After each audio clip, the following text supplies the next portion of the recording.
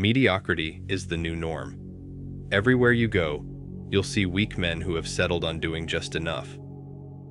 The hunger to push boundaries, on the basis of which modern society stands nowadays, has become nearly non-existent. Only a select few still possess that iron will, and it'll be them who run the world in the coming years. Do you see yourself as being one of them? This is a question every young man must ask himself every single day. He must remind himself of his true purpose.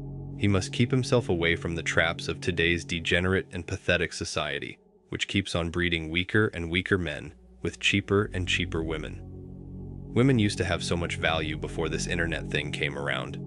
Nowadays, you can get most of them for $3 on OnlyFans. Pathetic. High-value role models, high-value guides, high-value friends, and high-value women no hood rats or junkie buddies like before.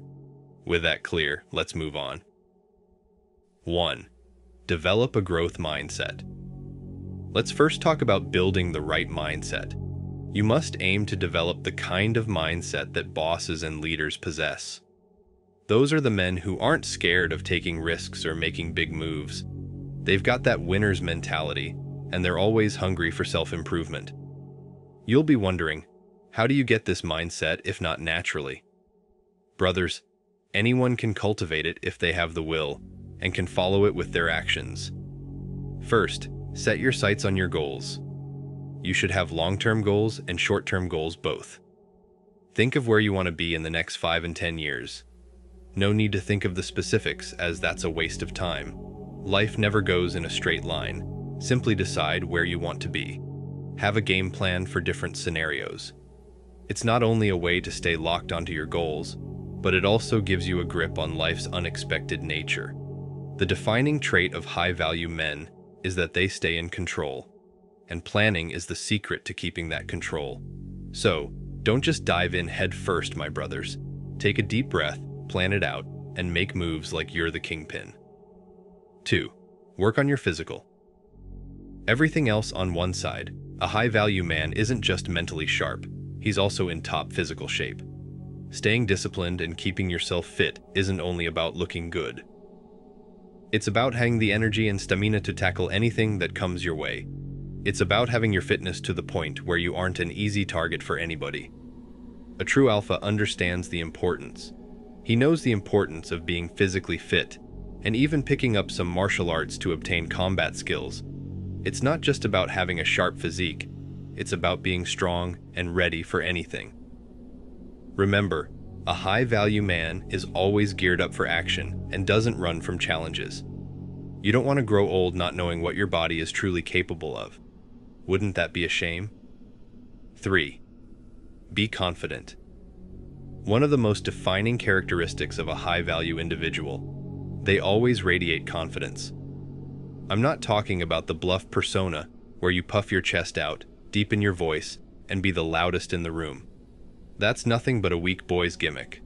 It's about owning it, deep down, and knowing your caliber in any setting you're in. A true alpha practically breathes confidence, and that's what makes him stand out. So, start from within, work on your self-worth, and watch it transform the way you carry yourself. Something a lot of people overlook is, to seriously boost your confidence, you need to get articulate it's not a choice you get to make. It's an entry-level requirement. You've got to be able to sway others with your ideas, make them see your vision, and offer them something they can't resist. That's the overlooked beauty of constantly learning and obtaining knowledge. So brothers, take into account the areas where you need to put in more work and simply do so. You'll realize that it doesn't take getting to the finish line to feel better about yourself. Simply being on that journey fills you up with confidence in your abilities. 4. Control the narrative around you. My brothers. To truly be a man of value and charm, you've got to master the skill of controlling how people perceive you. It's not about being fake or putting on a show, but about shaping the image you want others to have of you.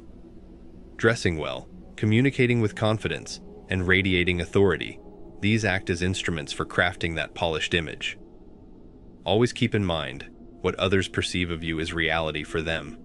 That's why it's been said for so long, fake it till you make it. So, if you're aiming to become a superior version of yourself, you've got to consistently project that image. Brothers, pay attention to your body language.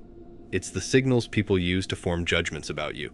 Remember, a high-value man commands respect and grabs attention, and you need to do the same if you want to be seen as one. So, take charge of how others perceive you, and don't just be comfortable winging it. You can do much better than that. 5. Become influential. Listen closely, brothers. The last but equally important aspect of increasing your worth is you have to master the art of influence. In life, it's not just about what you can do for yourself. It's equally about inspiring others and uplifting those around you. You need charisma and leadership skills to motivate, to share your vision. Real power doesn't come from dominating others. It comes from lifting them up, helping them reach their goals. Build a tribe of like-minded individuals who share your values and goals, who respect and support one another. Surrounding yourself with this community ensures that no one dares to stand against you. Use social media wisely as not a medium of consumption, but a medium to boost your reach and put yourself out in the world. But always remember, brothers, there's nothing worth more than your privacy. Sharing too much with outsiders is never wise. Brothers, use these lessons wisely and remember that real power comes from being in control of yourself and your environment. Thank you for watching, and as always, see you in the next one.